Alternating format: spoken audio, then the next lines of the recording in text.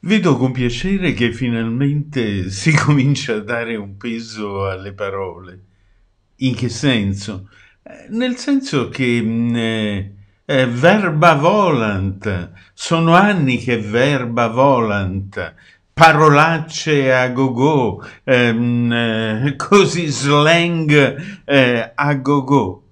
E invece le parole hanno un peso, le parole sono come pietre molto spesso, anzi quasi sempre, le brutte parole.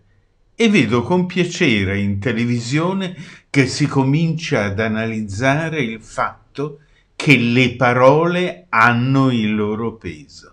Bene, sono contento. Questo è un passo avanti verso un futuro in cui finalmente si cercherà non di censurare, ma di usare le parole adeguate nel momento adeguato e non le parolacce, naturalmente.